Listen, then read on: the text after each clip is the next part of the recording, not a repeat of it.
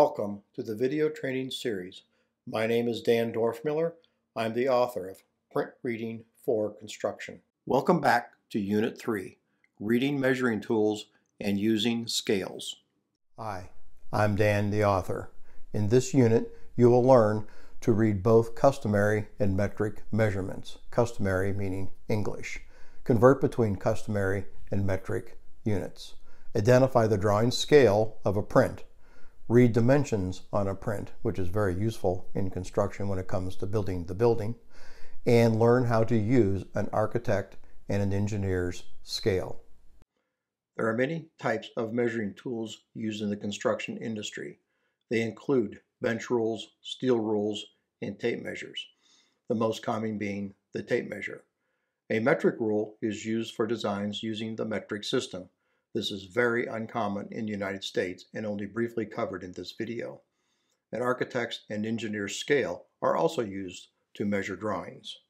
A fractional rule is divided into feet, with every foot equaling 12 inches.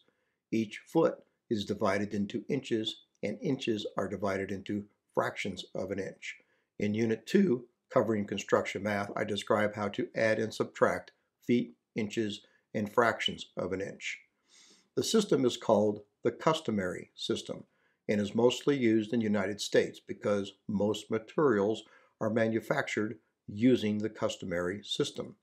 If you want to know more about the customary system and how it came to be in the United States, go to the internet and search for foot unit and click the Wikipedia page. The basic linear unit in the metric system is the meter.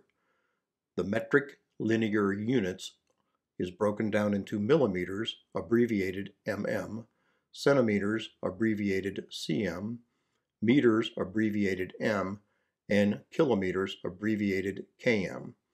Millimeters is 1 one thousandths of a meter, meaning that meaning there are 1,000 millimeters in one meter.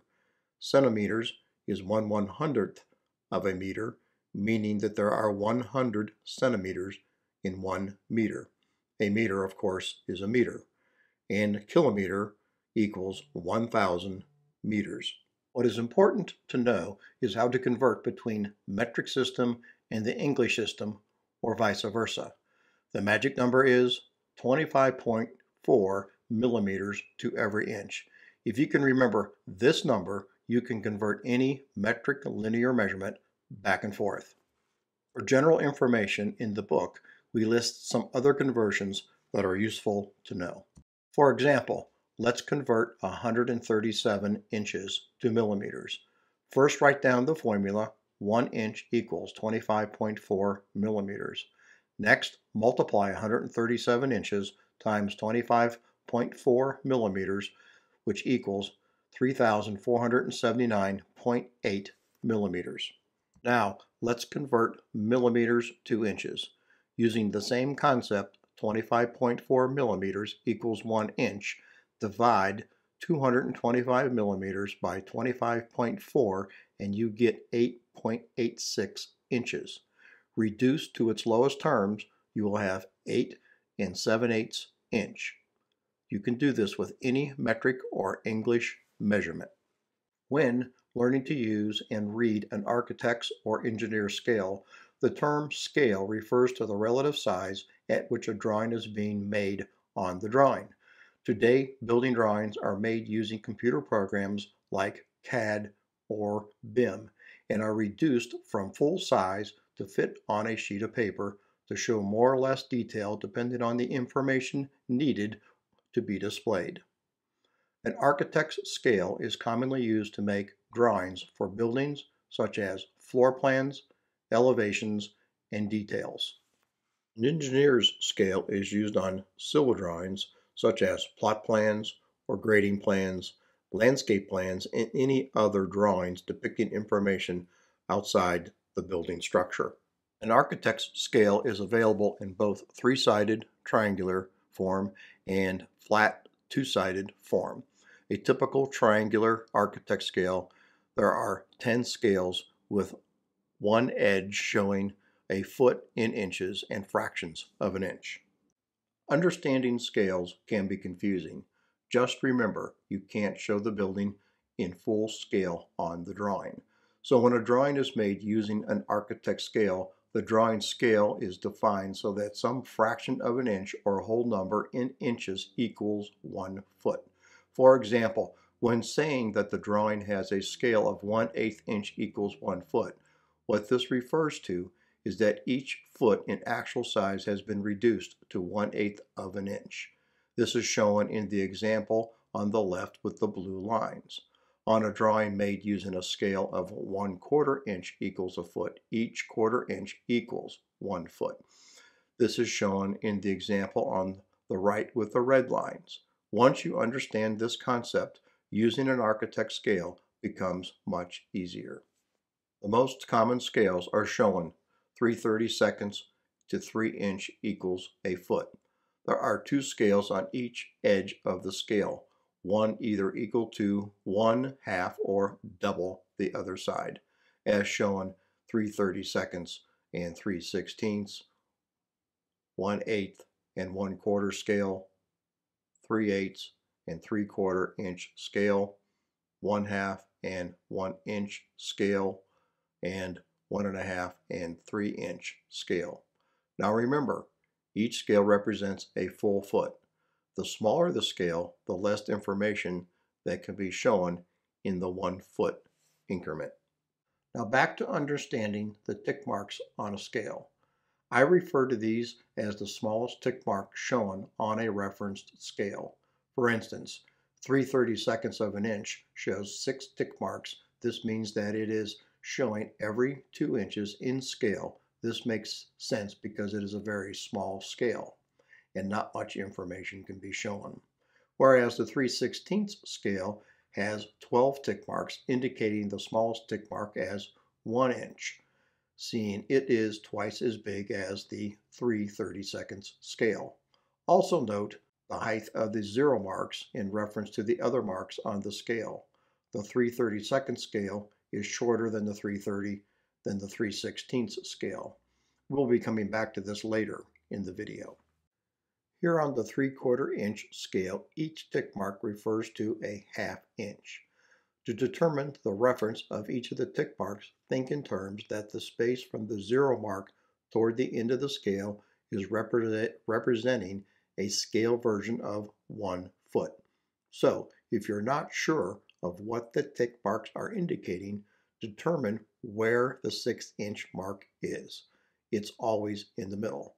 And by the way, always read from the zero mark outward. Then determine where the 3 inch and the 9 inch is simply by dividing the 6 inch mark by half. The inch marks are shown between 3, 6, and 9. The smallest tick marks showing on the 3 quarter inch scale is 1 half inch, and the 3 inch scale smallest tick mark is 1 inch. And again, note the taller zero and the shorter zero marks on each side of the scale. Now let's talk more about the tall and short zero marks.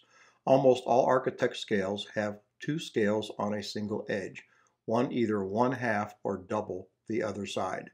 To communicate this, the smaller scale will always have a shorter height zero mark than the larger scale. This is done to reference which tick marks can be used in reading full feet across the reference scale. For instance, if you are reading the full feet on a 3 quarter inch scale, you would only use the taller tick marks 1, 2, 3, 4, and so on across the scale. When reading from the other side, 3 8 inch scale, you would use all the tick marks because it's one half the 3 quarter inch scale from the other side. As noted, 1, 2, 3, 4, 5, 6, and so on. Notice that the number for the shorter tick marks are numerated in the feet for the 3 8 inch scale and the taller tick marks are numerated for the feet for the 3 quarter inch scale. If you are reading the tick marks that say 10 feet for the 3 8 inch scale on the taller tick marks, it's not 10 feet, it's 9 feet. You would have to interpolate from the smaller tick marks that say 8, then interpolate the 9 for the 3 8 inch scale. Reading from the 3 quarter inch scale side, the same tick mark would now be 10 feet. To measure a distance of the red line with the architect scale, use the method shown. First, line up the scale so that one end of the line aligns with a full foot mark for the correct scale and the other end of the line extends past the zero mark into the portion of a foot area. Then read the measurements in feet and add the measurements in inches and fractions of an inch beyond the zero mark to the number of feet. In this example shown, the measurement in feet is 6 and the measurement in inches is 7. The total length of the line is 6 foot 7 inches. One more example. Using the quarter inch scale to measure the red line, line up the scale on a full foot mark with the extra extending into the portion of the foot area. The full feet measures 6 and the portion of a foot measures 3 inches. The total length of the red line is 6 foot 3 inches. The scale will be identified usually near the title of the plan, section, or detail. The dimensions on the plan are used to define edges, locations, thicknesses of materials, and centerlines of the building. An engineer's scale relates to so many feet per inch and is referred to as a whole number. For example, a 20 scale is noted as 1 inch equals 20 feet, also noted on the drawing using 1 inch equals 20 foot scale. Every inch represents 20 feet.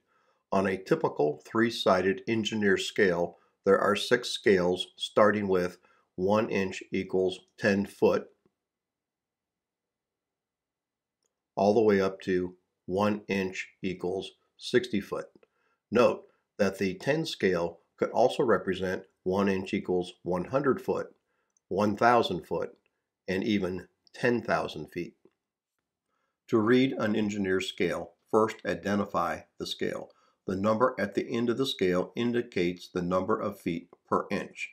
This example shows the measurement of a line using an, engineer's scale of 1 inch equals 10 foot referred to as the 10 scale. Note that each major division is divided into 10 parts. When reading this scale, 1 inch equals 10 foot, 2 inches equals 20 foot, and 3 inches equals 30 foot, and so on. Using the 1 inch equals 10 foot scale, measure the distance of the red line.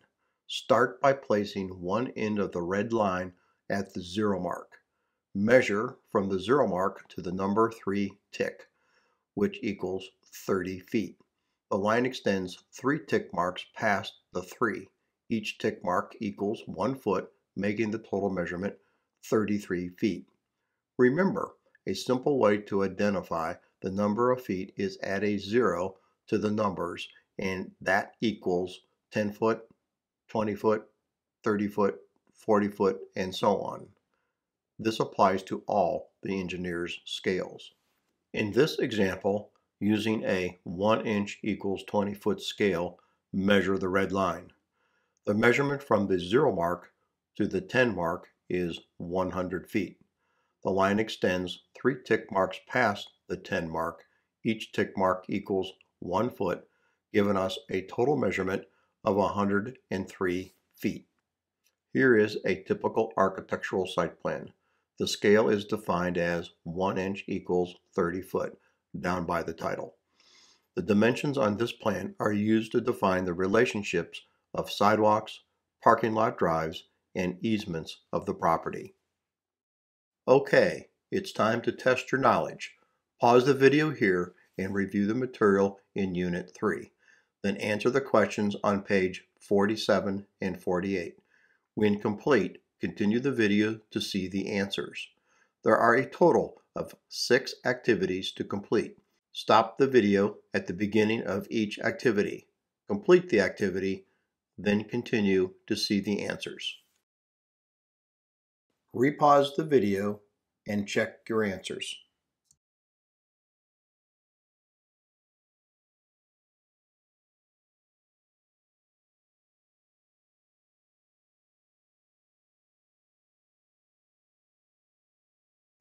Pause the video here and do the activity 3-1 on page 49.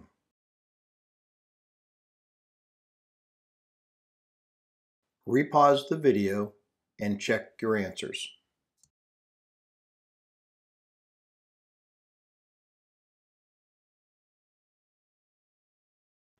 Pause the video here and do activity 3-2 on page 50.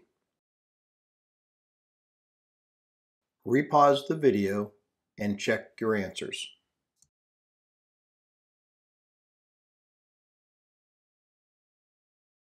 Pause the video here and do activity 3-3 on page 51 and 52. Repause the video and check your answers.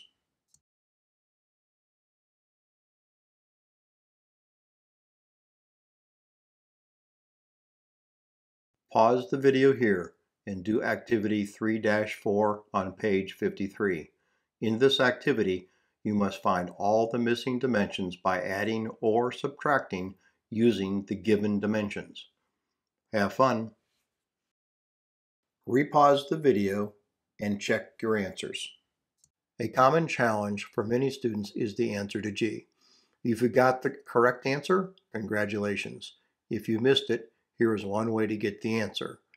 First, ask yourself, what do I know? We know it's 12 foot 8 inches from the center of the door to the top edge of the wall. Next, what string of dimensions can I add up with only one missing dimension? That would be the 8 inch wall, 8 foot 10 inch room space, and 1 half the door width, 1 foot 6 inches, which all adds up to 11 foot 0 inches. Subtract the 11 foot 0 inches from 12 foot 8 inches and you get 1 foot 8 inches from the door jamb to the inside of the wall.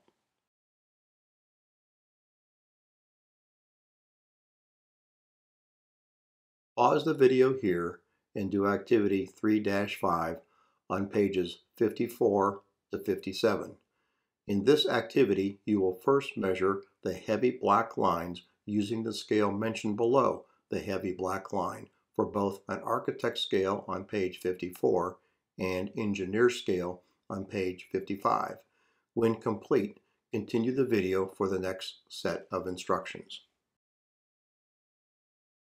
On page 56, using an architect scale, and page 57, using an engineer scale, you will make a mark on the line shown using the scale noted to the left for the measurement noted under the line. For instance, on the first line at the top of page 56, note 12 foot 8 inches. Here you will draw a line using a quarter inch scale. Starting from the arrow side of the line, the answer would look like this. Now you try it.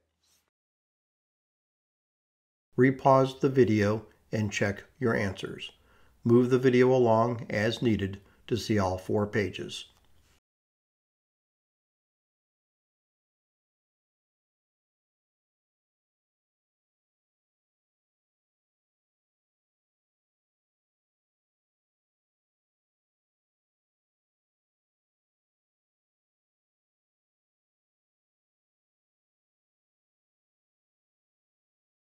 Thank you, and this completes Unit 3.